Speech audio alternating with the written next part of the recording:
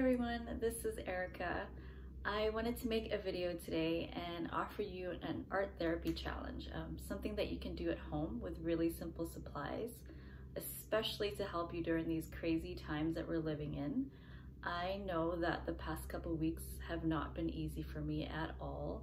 It's been really taking a toll on my mental health and I've been feeling a whole roller coaster of emotions um, throughout this experience, feeling a lot of anxiety one moment and then feeling like everything will be okay the next and then feeling a really deep sense of loneliness and then feeling like a lot of love and connection the next day. It's just really confusing and it's hard for me to be grounded and stable throughout this whole time. And as always, I've been using art a lot to help me express myself, to help me release the emotions and feelings, and most importantly, to give myself permission to be honest about how I'm actually feeling.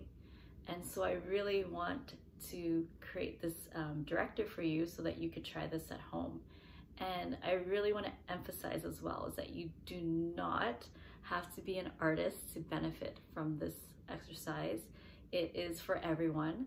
Um, it's not about making a piece of art that you're going to be showing a lot of people or be hanging on the wall or put in a gallery. It's not about perfection.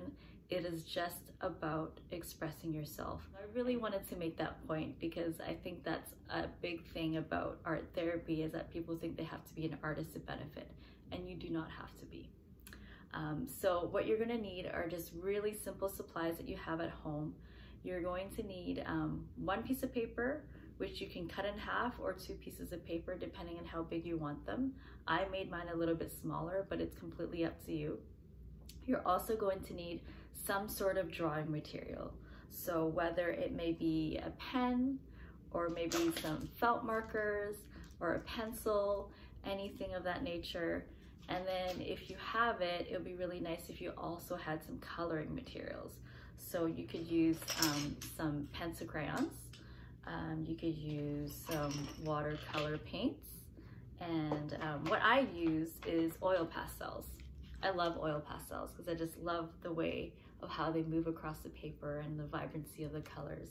But as I said, you can use whatever you have at home. Um, you don't have to have like all of these supplies. You just need a couple things. And so this whole directive, um, I was thinking a lot about these two opposing and contrasting feelings and emotions that we that I've been experiencing that I also know a lot of other people I know that have been experiencing as well. And it's the idea of feeling alone, but also really connected, right? So on the first piece of paper, um, what I want you to do is write the word isolated in the center of the page. And then I want you to think about what kind of colors are coming up when you think about being isolated? What kind of shapes, what kind of lines, what kind of images come through? And you're just going to take your drawing material and start drawing on that piece of paper, whatever wants to come through. And as again, don't judge what's coming out. Whatever is coming out is meant to come out. Um, you don't have to make this perfect drawing or anything like that. Just let your hand and your body guide you.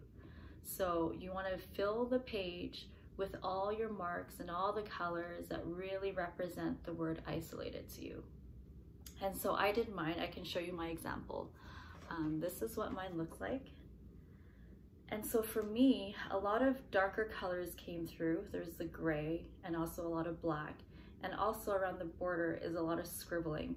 And what I realized afterwards is the scribbling is that when I think about the times I felt isolated, there was a lot of frustration in me and so that came out through the scribbles.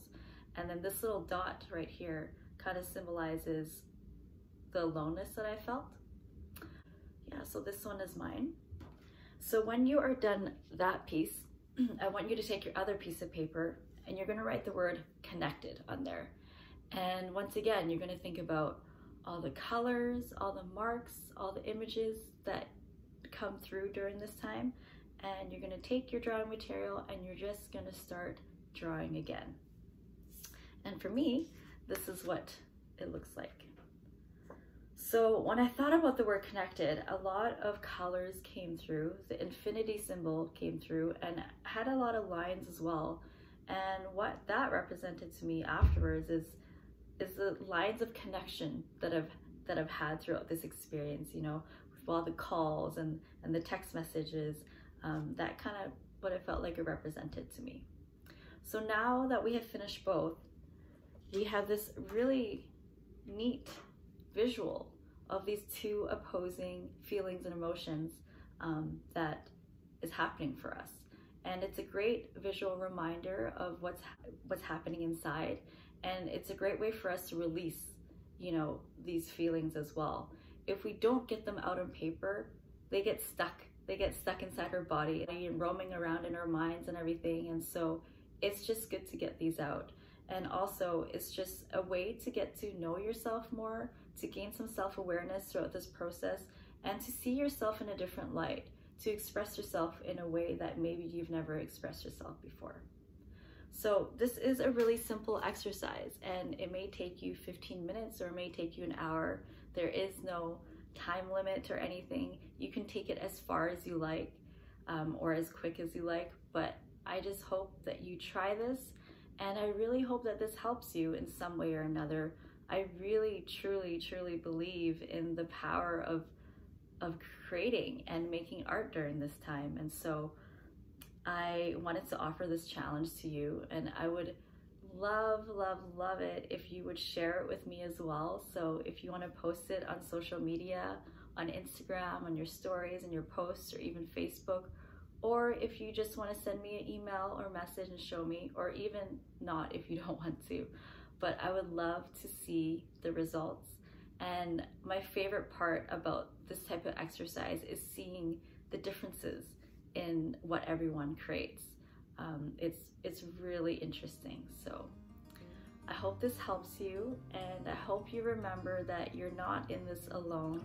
You're not alone in feeling alone.